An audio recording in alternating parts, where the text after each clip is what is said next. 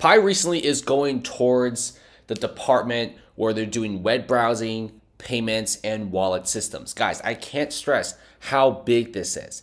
Now pioneers will be able to connect with the Pi system using the Carbon browser. It's already out, okay? And Carbon browser is working very, very closely with the Pi network.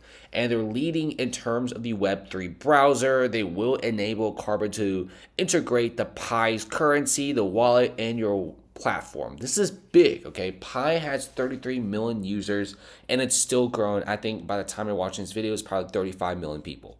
Pi is very, very popular and you do see that they're really trying to diversify themselves. They don't just want to be a crypto token where you're using it to pay for things. That doesn't really give it its intrinsic value. You kind of want the crypto token to have several other departments. Like, for example, they're trying to do games, they're trying to do web design, they're trying to make applications, they want to make the blockchain better. And you do see Pi diversifying massively. Sure, these Rolls Royce advertisements are pretty cool, but what's even better that gives it its true price is going to be this right here. You want something like this to happen. So the Pi's power and also value truly goes up. Right now, I'm honestly thinking that Pi will be listed on an official exchange, perhaps Binance, maybe sometime around April. I think that's a very, very likely chance, maybe May at the latest. And who knows, some people even say this month in March. I think it's not about if exchanges want to list Pi, it's whether or not Pi wants to be listed at the current moment.